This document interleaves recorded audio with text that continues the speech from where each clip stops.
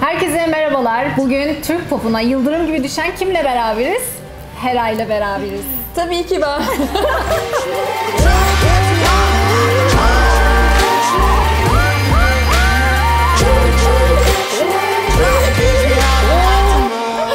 Hoş geldin Erece. Nasılsın? İyiyim canım sen nasılsın? Ya yine her zamanki gibi beli şu kadar.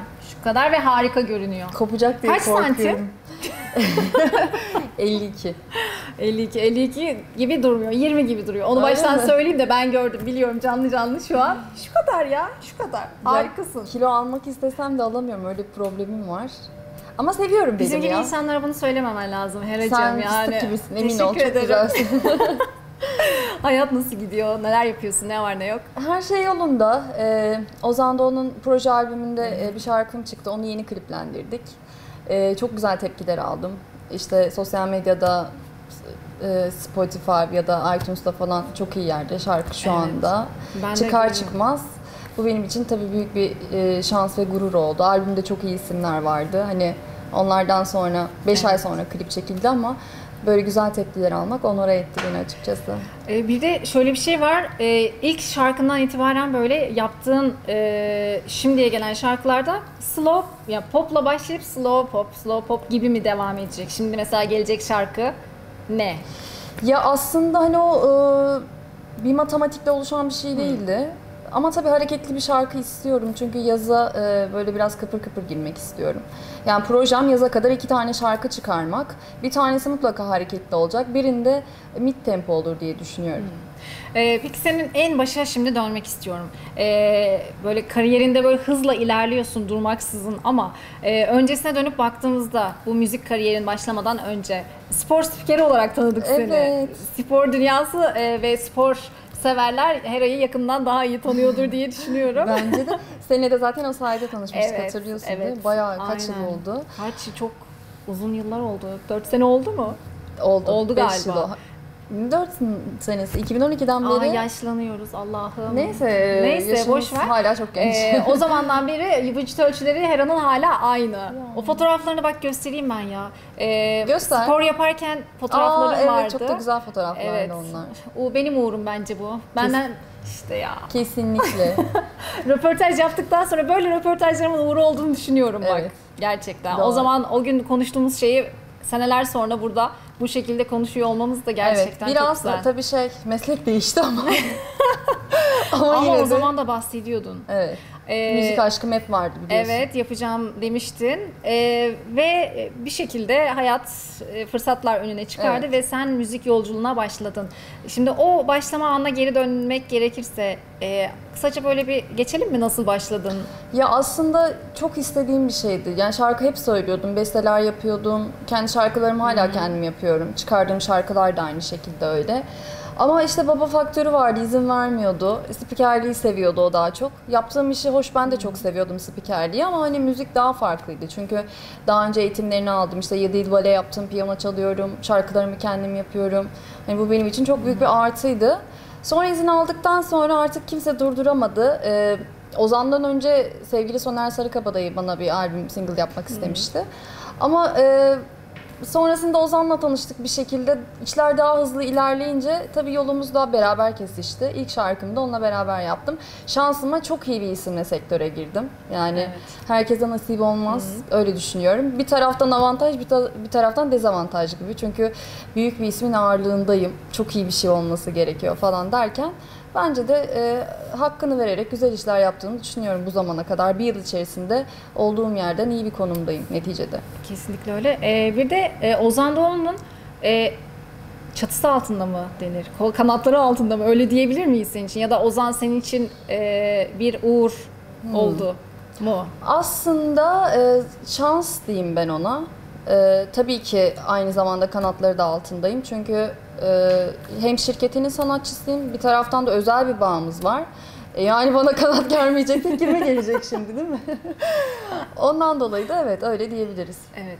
Ee, peki Ozan'la özel bağınızdan biraz bahsetmek istiyorum. Mesela e, bu konuda haksızlığa uğradığını düşünüyor musunuz? Sanki böyle e, şöyle bir algı oluştu. Ozan'la e, özel hayatında bir beraberlik e, yaşadın ve ondan sonra bu piyasaya girdin gibi bir durum söz konusu gibi bir algı var. Yani bunu aslında şöyle 50 kere düzeltiyorsun ama insanlar Evet. o kadar anlamıyor ki ve ben artık anlamayan insanlara hiçbir şey anlatmak istemiyorum.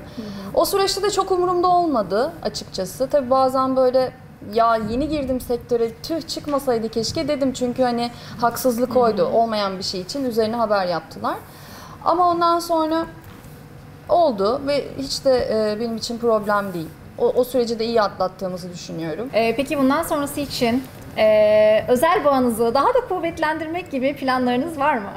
Ne gibi? Mesela evlilik gibi, bunu bir resmiyete taşımak gibi beraberliğinizi başka bir boyuta taşımayı düşünüyor musunuz? Yani aslında hiç düşünmüyorum. Yani şu anda düşünmüyorum. Evliliğe karşı mısın? Yok karşı değilim ama yani e, flörtün de güzel olduğunu düşünüyorum. O, o ilişkiler, duygular hep taze kalıyor. E, şu anda bence top seviyede yaşıyoruz ilişkimizi. E, evli gibiyiz de bir taraftan çünkü onunla her şeyi paylaşıyorum. Ben onun eli ayağıyım, o da aynı şekilde benim. O yüzden hani bir imzaysa şu an düşünmüyorum ama e, istiyorum desem de Ozan'ı da karşı çıkacağını düşünmüyorum açıkçası. Ee, anne olmak üzerine ne düşünüyorsun? Daha çok minik, sen kendin bebeksin daha ama Aslında bebek değilim ama ya e, çocukları çok seviyorum. Yeğenlerim var. Ben o duyguyu onlarla yaşadığımı düşünüyorum. burada araya gireceğim. Ee, Hera'nın bir ablası var. Yani e, kesinlikle burada güzellik genetik. Ben çok bir kez daha ederim. gözlerimle gördüm. Ee, inanılmaz hem annesi hem ablası hem yeğenleri o kadar güzelsiniz ki gerçekten. Ya, çok incesin Yok olmaması gereken bir gen sizinki. Bunu çok O net zaman hemen doğurmalıyım. Ee, Ozan'cığım bence bunu değerlendirmelisin tatlım. Bence bence değerlendirmeli. Gerçekten işime odaklıyım şu anda. Hiç öyle çocuk düşünmüyorum. Çocukları çok seviyorum dediğim gibi. Ablamın çocukları yetiyor. E, o zaman çok tatlı kızları var. Evet. Onlarla zaten arkadaş gibiyim. Onların sevgisi de bana yetiyor. Şu anda düşünmüyorum. Harika. Böyle söyleyeyim. Ee, müziğe geri dönecek olursak. Şimdi müziğin tabii divaları dediğimiz e, çok değerli Türk popuna hayatını vermiş isimler var. Mesela kim var diyebiliriz tabii ki Sezen, Aksu var. Ee, başka kimi sayabilirsin mesela senin idol olarak gördüğün isimlerin olduğunu biliyorum. Yani e, Sezen Aksu'yu e, tam bir idol olarak gösterebilirim. Ama diğer çok beğendiğim sanatçılar işte Gülşen'i çok beğeniyorum. Evet. Yıldız Tilbe'yi çok beğeniyorum. Yani Ses tonun da galiba onlara benzetiliyor biraz. Evet, yani biraz tavrın, tarzın, e, böyle sahnedeki duruşun, Öyle mi? yorumlaman falan benzetiliyor diye düşünüyorum. Yani Sen evet öyle yorumlar söylüyorlar özellikle son şarkımda bayağı bir e, söylediler ama bu benim açıkçası hoşuma gidiyor çünkü Türkiye'nin en güzel isim yani hem şarkı söyleyen hem beste yapan e, isimlere benzetilmek bana gurur verir yani bununla açıkçası yerinmiyorum. O yüzden de hoşuma gidiyor bir taraftan. Onlar benim idollerim tabii ki. Yani benden yıllarca önce bu işi yapmışlar ve herkes benim gibi bir sürü yeni sanatçı onlara gıptayla bakıyor. Ee, bir seneden beri müzik sektöründesin ve biliyorsun ki e, pop müziğinde her 6 ayda bir ya da her senede bir çok sık bir sirkülasyona yeni isimler giriyor. Evet. Ee, bunların arasından sen hangi yönünle sıyrıldığını ve farklı olduğunu düşünüyorsun? Çok merak ediyorum. Ee, bunların arasından derken yani sürekli atıyorum bir yıl içerisinde çok da sıyrılan bir isim yok. Bence hani ben de zaten popstarım diyemem açıkçası. Çünkü e, son bir dönemde müzik sektörü bayağı değişti. İşte popun yerine rap yerini aldı derken e, şarkılar zaten yaptığın şeyler, işler bir türlü çok istediğin verimi vermiyor sana ve şarkılar çok çabuk tüketiliyor. E, Bu sebepten de bence girenler çok ispat edemiyor kendini. Arada bazen kayboluyor. Ben olmadığımı düşünüyorum. Hani neden olmadın Evet, diyorsan nereye baksan da sen varsın. Hiç de kaybolmuş değilsin. Gayet iyi gidiyorsun. Çok başarılı buluyorum Çok bu anlamda. e, neden olmadın diyorsan da e, duruşumdan dolayı bence. Tabii ki sesimin de artısı katkısı var ama yani çok da böyle ortalıkta olan bir insan değilim. Sadece işimle olmaya çalışıyorum. Onun dışında değişik işte hırslarım yok. En çok beni konuşacaklar. işte Türkiye'nin en iyi popstarı olacağım gibi bir takıntım asla yok. Öyle bir şey de istemiyorum zaten. Sadece hani işimi düzgün, kaliteli yapıp e, gerekirse de herkesin bilmesini de istemiyorum. Hani sağlam bir kitle oluşturmak istiyorum. Yani amacım sadece müzik yapmak ve tabii ki hayatımızı bundan kazanıyoruz. E, aynı şekilde bir şeyler katarak da daha iyi şekilde hayatımı sürdürmek. Ee, peki seni ikna etmek zor mudur? Konuya göre değişir Aa, tatlım. Mesela hangi konuya göre tatlım? yani hani şey bir tipim. Bana göre doğruysa hani biri istediği kadar ikna etmeye çalışsın ik- ikna olmam. Ama emin değilsem anca o zaman beni ikna edebilirler gibi bir şey. Bir tık da zor gibi diyeyim. Peki böyle şey e, hissiyatın nasıldır? Hep böyle aklına gelen başına gelir mi? Gelir Sezer ya. misin? Nedir sendeki o durum? O, o var bende. Burcumun özelliğinden belki de bilmiyorum. Hislerim aşırı kuvvetli. Yani kötü bir senaryo ürettiğim anda illaki onu yaşıyorum. Yani e, bazen evrenin de bunu getirdiğini düşünüyorum. Ona da çok inanıyorum. O yüzden hani kötü şeyleri düşünmemeye çalışıyorum. Kötü enerji hayatıma hiç bulaştırmamaya çalışıyorum. Onu tatmak istemiyorum çünkü. Peki zor kadın mısın? Biraz evet. Ozan e, seni tavlarken çok zorlandım ama çok merak ediyorum. Hiç zorlanmadım. Zor, Ee, zor kadın. Zor biraz. Oğlak zor. kadına. Ya şöyle hani e, sevdiğime karşı ama asla zor değilim. Eğer bir elektrik, bir kıvılcım falan varsa onu o kolaylığı tabii ki sağlıyorum ama diğer türlü mümkün değil yani. Çok yanaşamazlar. Ben senin sevgilinim. Ve beni terk etmek istiyorsun. Nasıl yaparsın bunu? ne Direkt dersin? terk ederim. Acımasız, Ama söylerim yani, hani- insafsız, Soğuk- zor kadın işte. Hayır yani soğuduysam uzatmanın anlamı yok. O zaman araya başka şeyler giriyor. Atıyorum kadın erkeği aldatıyor, erkek çok üzülüyor. Hep şey empati yapmayı çok seviyorum ve hep Ay acaba benim başıma gelse ne yapardım diye düşünürüm her konuda. Bu konuda da öyle. Yani çok netim. Soğuduysam bittiyse kesip bitireceğim. Ve söylerim bunu. Hiç bugüne kadar ahlaksız bir teklif aldın mı? Kız hangi devirde yaşıyoruz? Fatih'ten mi aldı yoksa Fatih? Orada el kaldırdı. Orada bir el kaldırdı. Ee, ahlaksız teklif almadım ama şöyle bir durum oldu. Spikerlik yaptığım dönemde o zaman genel müdürün arkadaşı bana hayranmış galiba. Spor haberleri. Aa ben bu hikayeyi Bu biliyorum. hikayeyi biliyorsun zaten. Duydum ben bunu. Evet. Sonra Ee, tabii ben gel git gel git adamı sürekli reddediyorum falan istemiyorum. Çiçekler bilmem neler kabul etmiyorum. Bir gün bültenim kesildi. Spor bülteni. Çok enteresan bir şekilde. Yani filmlerde olur falan sanıyordum bunu. Bir gün bekliyorum çıkmıyor. İki, iki gün bekliyorum çıkmıyor bülten bülten falan derken meğersem adam orada işimi şey yapmış kesmiş. Kovdu seni yani. Kovmadı ben istifa ettim sonrasında. Baktım bülten olmuyor. Dedim ki gittim neden olmuyor dedim. Hani sonuçta ben buraya bu iş için alındım ve işimi yapıyorum. Ondan sonra işte bir süre daha almayacak dediklerinde zaten anladım ben kendim istifa ettim. İyi ki de Böyle bir durum oldu yani. Helal olsun sana. Arkadaşlar bir alkış alabilir miyim hele ya?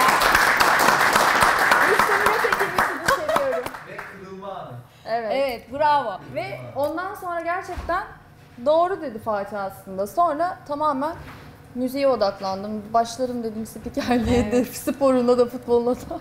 Aynen öyle. Bazen kötü şeyler güzel şeyler. Ee, bu şey gibi kötü olmuş komşu aslında. evet Ev sahibi nasıl yapar? ev sahibi yapar gibi bir mevzu aynen. Kötü şeyler güzel şeylere yol açtı. Aynen Evet. öyle. İyi ki sizinleyim Küfrü ağzımı bozmayacağım. Evet. Ağzımı bozmayacağım. Ağzımı bozmayacağım. Bozayım mı? Ne dedin ki kaçırdım? Yorum yapacağım. Yorum yapacaktım ama yapmıyorum. Peki sen birine ahlaksız teklifte bulunacak olsan nasıl yaklaşırsın? Ne dersin? Ben Gülmeyin. ahlaksız teklifte bulunacağım. Evet mesela bana ahlaksız teklifte bulunacaksın. Benim gibi tatlı, dünya güzeli, harikasın birine. Dik dur diyorlar tamam dur. Yani e, öyle bir teklifte bulunmam ki. Bana mı? Ha sana yavrum gel bu gece beraber takılalım falan direkt böyle girermişim. Yok ya. Seni istiyorum. Vay. Hiç bu uzatmam teklifi sana atıyorum. Hiç uzatmam. Direkt istiyorum seni. Bitti. Yok gerçekten öyle bir teklif yapmam zaten şimdi ne diyeyim. Ben bir kadın yaptığımda, gerçi son zamanlarda kadınlar biraz Evet. cıvıttılar yapıyor olabilirler Aynen. ama ben yapmam ve yapmıyorum da. Ee, yatakta çok vakit geçirmeyi sever misin? Yatakla ve ya da koltukla aran nasıl? Bu konu pisleşiyor başka yere gidiyor. Yani. Ucu başka yere gitti. Ya şöyle tabii ki e, aslında koltuğu yatak gibi kullanmayı seviyorum. Yani televizyon karşısında böyle yatayım oradan kalkmayayım. O yüzden de yatağı çok az kullanıyorum. Koltuğun karşısında uyuyup gidiyorum. Aa, Peki sana e, bunun üzerine birkaç tane sorum olacak tabii ki. Tabii Başlayayım hadi mı? pisleşelim. Başlıyorum. Hadi pisleşelim ve başlayalım. Serinlemek koltukta mı yatakta mı? Mesela şu an burası çok sıcak. Yanıyorum. Koltukta mı yatakta mı? Yatakta. Yanmak mı serinlemek mi? Aa, bu iyice edepsizleşti. Aa ben eskiden hiç böyle değildim. Şarkımla Fatih cevap verdi. Ne, yanmak yatakta mı diyeyim ya? Ne diyeyim? ne bileyim ne nerede yanıyorsun? Tamam hadi yatakta yanıyorum. Şarkı söylemek koltukta mı yatakta mı? Ee, koltukta. Masaj yaptırmak koltukta mı yatakta mı? Yatakta. Krem şanti sürmek koltukta mı yatakta mı? Ya canım mutfak varken niye yatakta krem şanti süreyim? Hesap sormak koltukta mı yatakta mı? Aa yatakta. Ay, bütün cazibemle yatakta çok güzel Sen bir gel şuraya. Ee, IQ'sunu ölçmek. Koltukta mı yatakta mı? Hera zeki seviyor ben biliyorum. Koltukta. Koltukta nasıl ölçeceksin zekasını? Ay, yatakta nasıl ölçeyim zekasını? ya koltukta iyi değil mi? Peki e, derin derin koklamak. Koltukta mı yatakta mı? Koltukta yapıyorum şu aralar onu. Ay canım benim ya bu kadar da açık işte görüyorsunuz arkadaşlar ya. Çok tatlı. Trip atmak. Koltukta mı yatakta mı? Trip atmak. Atmıyorum falan yaparım şimdi. Valla koltukta trip atmak. Önce koltukta o trip atılacak. Peki barışması nerede oluyor? Koltukta mı oluyor yatakta mı oluyor? Koltukta barışmadan. O da mı? Nasıl bir koltuk arkadaş? O koltuğu görmek bizim istiyorum. koltuk yani. koltuk. Seni bir sonraki programa konuk aldığımızda Evet. mesela birkaç ay sonra, 6 ay sonra, 6 ay sonra alır mıyız? Üç ay. Al. Randevu almanız lazım şimdiden. Fatih Bey 6 ay sonra Hera Hanım'ı almak istiyoruz. Fatih? Bakmam lazım. Ama bu sefer bizim stüdyomuz. Ama bu sefer bizim Evet o, stüdyomuzda. o dekoru gördükten sonra zaten çok Evet. pişman oldum. Ya. Tüh. Allah Neyse beni 6 ay sonra bak yaza denk geliyoruz. Bekliyoruz Daha iyi olur. Evet, Aynen, daha güzel bir kesinlikle. çekim olur. Ee, o zamana kadar hayatında neler yapmış, yapmış olacaksın, ne gibi yenilikler olacak bir liste yapsak ve geldiğinde onlara tik atsak. O iki şarkı, yap, iki şarkı yapacağım. O şarkılar patlayacak ve sizin programınıza gelmeyeceğim. Aa, aa, yalan söyle beni asla kırmaz. Şaka yapıyorum.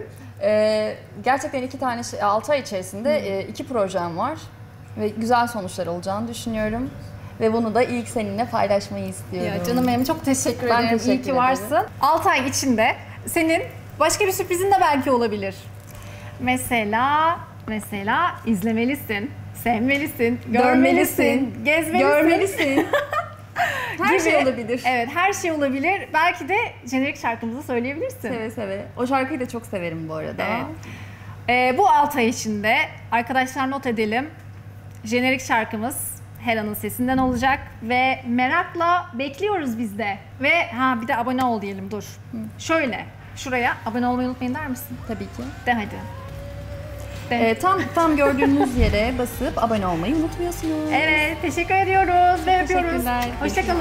Bay bay.